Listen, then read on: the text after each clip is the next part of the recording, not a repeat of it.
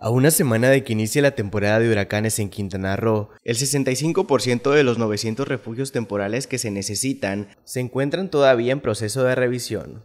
El titular de la Coordinación Estatal de Protección Civil de Quintana Roo, Alfredo Suárez Camacho, explicó que hasta el momento solo el 45% de los refugios ya están totalmente verificados y listos para poder utilizarse en caso de que se requieran. Detalló que en conjunto con los directores de protección civil están coordinando las acciones para la revisión de los sitios, ya que debe ser una acción cautelosa, sobre todo porque son lugares donde las personas deben estar seguras. También coordinan acciones con los hoteleros, quienes van a habilitar sitios para los turistas en caso de que no sea viable quedarse en los centros de hospedaje. Adelantó que en el marco de la instalación del Comité para la temporada de lluvias y ciclones tropicales 2022 se llevará a cabo la certificación de administradores, quienes estarán a cargo de los refugios en caso de que tengan que activarse. El pronóstico para la temporada de huracanes que arranca el 1 de junio y concluye el 30 de noviembre es de 21 ciclones tropicales, de los cuales 9 podrían convertirse en huracanes. Para Notivisión,